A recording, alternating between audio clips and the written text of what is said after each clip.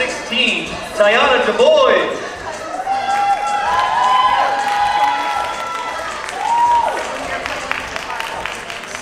And with your favorite pose, Tiana.